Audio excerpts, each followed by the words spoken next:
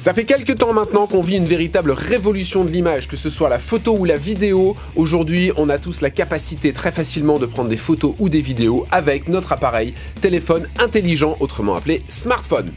DJI surfe là-dessus et vient de nous sortir un nouveau gadget, c'est ce qu'on va voir juste après, le DJI Osmo Pocket, une petite caméra stabilisée 3 axes, pas plus grande que ça, qui fait quelques centaines de grammes et qui vous permet de faire de l'image.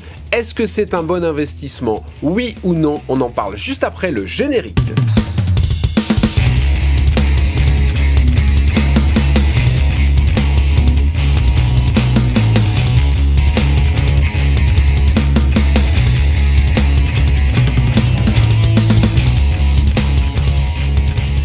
Bonjour, je suis Axel Crevaux et je vous présente aujourd'hui une nouvelle capsule des Techni News et une nouvelle capsule dans une nouvelle formule parce que J'aime bien changer parce que j'aime bien tester et parce que j'avais de toute façon envie de vous parler de ce produit sans y passer, sans y faire une capsule traditionnelle qui durerait 15 euh, ou 20 minutes parce que je sais que de toute façon vous ne la regarderiez pas jusqu'au bout. Donc aujourd'hui j'ai envie de vous parler du DJI Osmo Pocket. Régulièrement DJI fait des annonces. Alors DJI pour vous situer un petit peu, c'est à la fois le professionnel, le, vraiment le top niveau au niveau des drones avec les fantômes et les Mavic et, autres drones encore plus calés au niveau professionnel des, des gros drones sur lesquels on peut mettre des énormes appareils photo mais c'est aussi euh, les pros de la stabilisation puisque c'est eux qui font ce qu'on appelle le Ronin. Le Ronin, c'est un stabilisateur utilisé par les professionnels du cinéma notamment, qui permettent de stabiliser l'image de façon vraiment génialissime.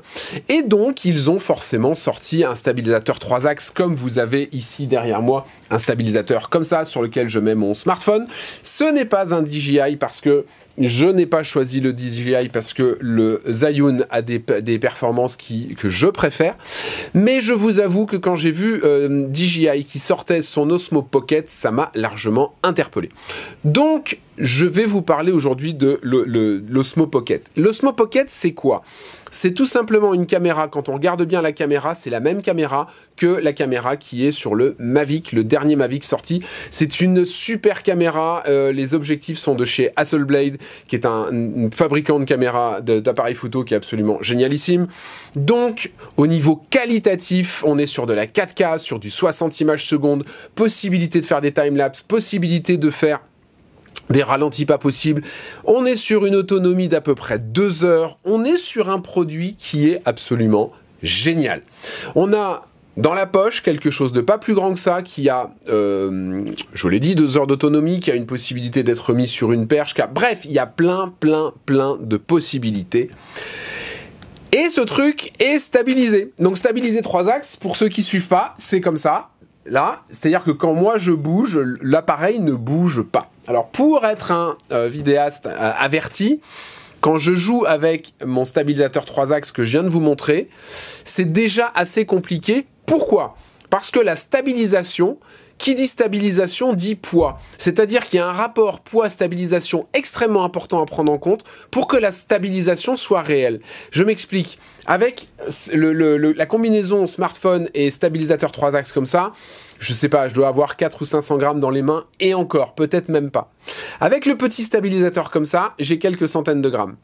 Ce qui veut dire que, et c'est très drôle parce que tout le monde est en train de dire que c'est la révolution, c'est une super caméra, c'est un super stabilisateur, la combinaison des deux est géniale, il faut absolument l'acheter. Et ils vous font des démonstrations. Je vous laisse juste aller sur YouTube ou ailleurs et taper Osmo, euh, DJI Osmo, Osmo Pocket et vous allez voir toutes les vidéos de démonstration. Moi qui ai un œil à, faire des vidéos, je vous garantis, elles sont pas stabilisées ces vidéos. Elles tremblent. Et elles tremblent, c'est normal, puisque quand je veux faire un travelling, avec une toute petite, un tout petit appareil, sans m'en rendre compte, je tremble. J'ai vu un travelling sur un, sur un plat, sur un joli dessert. C'est pas, c'est pas mieux, voire moins bien que si je faisais mon travelling à la main avec mon smartphone ou avec ma caméra sans aucun stabilisateur. Donc vous l'avez compris, premier point négatif, la stabilisation. C'est oui, c'est chouette sur le papier, c'est une stabilisation 3 axes, mais la stabilisation 3 axes ce n'est pas magique, et j'en parle dans ma formation vidéo. Avant de savoir stabiliser, il faut vous entraîner, il faut adopter ce qu'on appelle la démarche du ninja. La démarche du ninja ou la démarche du canard, c'est un peu moins sexy, mais c'est une façon de marcher, euh, souple sur les rotules, souple sur les genoux, pour déjà préamortir votre façon de filmer, préamortir votre bras pour pouvoir suivre quelqu'un, pour pouvoir faire un travelling. Mais quand je suis stable et que je fais un travelling, qu'est-ce qui va jouer? Moi, quand je monte mon Canon EOS 80D sur ma Steadicam et sur un ensemble qui doit faire entre 4 et 5 kilos, bah, de toute façon, je l'ai à bout de bras et dans tous les cas, j'ai pas le choix, je suis stable. De par le fait de, tout l'ensemble, je suis stable. Et sur le système du Ronin, sur le gros stabilisateur DJI, c'est pareil. On est sur du poids, donc on va de fait à la base stabiliser. Sur un tout petit truc comme ça, désolé DJI, mais on stabilise rien du tout. Ça, c'est le premier point qui pour moi est très très négatif.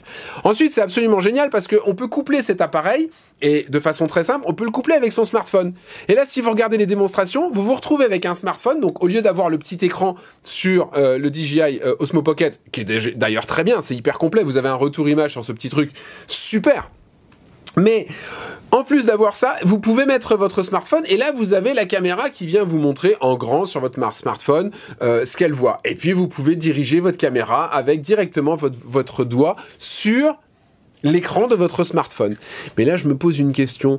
Euh, en fait, euh, sauf erreur de ma part, tous les smartphones ont des caméras intégrées et ont des caméras intégrées avec le même genre de définition. Si je prends mon iPhone X, il filme à, 4, en 4K à 60 images secondes, il fait des ralentis à 240 images secondes, c'est des ralentis de fou furieux. Parti du principe, partant du principe de ce que je vous ai dit avant, que de toute façon la stabilisation est quasiment aussi bonne euh, ou, aussi, mauvaise si je filme avec mon, mon téléphone à la main ou si je filme avec ce petit petit stabilisateur, je me pose des questions. À moins que j'ai 359 euros à jeter à la poubelle. Vous l'avez compris, je suis absolument contre cet appareil. Je trouve que c'est une surconsommation phénoménale. Alors, si vraiment vous voulez l'acheter, je vais vous donner un grand conseil. Déjà, il est en précommande, je sais même pas s'il est vraiment dispo. Il est en précommande, donc vous l'aurez a priori pas pour Noël. Euh, donc dans tous les cas, laissez venir les autres, les Ayun et compagnie, ils vont vous sortir le même genre de gadget à moins de 100 euros, j'en suis quasiment convaincu. Parce que quand DJI sort un truc, il est copié, évidemment. Et il est de mieux en mieux copié. Parce que DJI, comme c'est un petit peu la Mercedes euh, au niveau automobile, c'est un petit peu la Mercedes des nouvelles technologies, donc il se permet des prix un petit peu euh, abusifs. Mais moi je trouve que à un moment donné, ça fait un appareil qu'il faut charger, ça fait une batterie, il faut que je pense à le prendre avec moi. Mine de rien, dans une poche, ça fait quand même un truc un petit peu gros. si j'ai un sac à main, éventuellement je peux le prendre dans mon sac main, mais dans tous les cas, il y a un truc avec lequel je pars tous les matins au boulot, je pars tous les matins me balader quand je vais me balader, c'est mon téléphone. Je vais courir, j'ai mon téléphone, je veux prendre une photo, je sors mon téléphone, je veux filmer, je sors mon téléphone, je l'ai.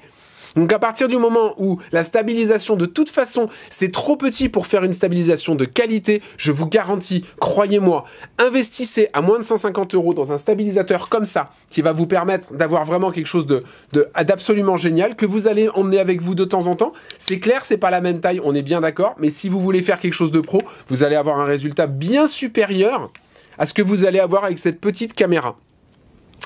C'est tout ce que j'ai à vous dire, c'est déjà pas mal, mais vous l'aurez compris, en termes de consommation, c'est pas ok pour moi. C'est 350 euros, 360 euros qui sont pas vraiment jetés à la poubelle, c'est pas vrai, mais c'est 360 euros qui ne sont pas utiles à investir. Changez de téléphone si vous avez un téléphone un peu vieux, prenez un téléphone qui va vous, amener vers une génération de téléphones plus récente. Si je reste chez, Apple, prenez un iPhone 7, un iPhone 8, quelque chose comme ça qui va se rapprocher, voire euh, avoir les équivalences de définition d'image de ce fameux Osmo euh, Pocket, mais n'achetez pas cet appareil. Voilà, désolé DJI, c'est clair, j'ai pas d'action chez toi, j'en ai pas chez Apple non plus, mais pour moi c'est de la surconsommation, c'est de l'argent jeté par les fenêtres, et ce n'est pas ok pour faire vraiment des vidéos de qualité. Je vous remercie d'avoir suivi. N'hésitez pas à mettre en commentaire ce que vous pensez de cette nouvelle formule je ne vous parle que d'un sujet. Je vous donne mon avis sur un appareil, sur une application, bref, ce qui me viendra par la tête, ce qui me viendra dans la tête à l'avenir. N'hésitez pas à me faire des demandes sur les choses dont vous voudriez que je parle. Et puis, on verra ce qu'on peut faire pour ça. Merci beaucoup. Passez une bonne après-midi, une bonne soirée, une bonne tout ce que vous voulez. À très bientôt. Ciao, bye bye.